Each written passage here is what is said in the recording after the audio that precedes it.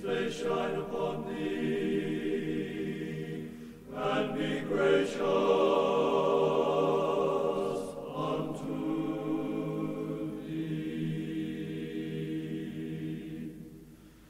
The Lord lift up his countenance.